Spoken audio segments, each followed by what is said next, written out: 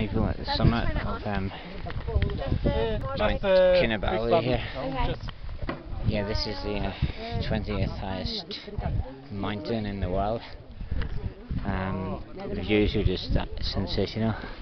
And there's the um, the marker, World Heritage.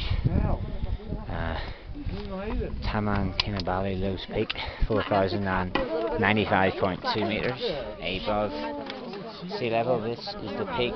This is the highest point of um,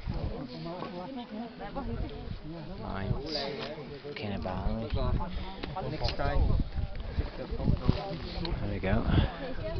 That's it there. Touch it. It to the top. Pretty good.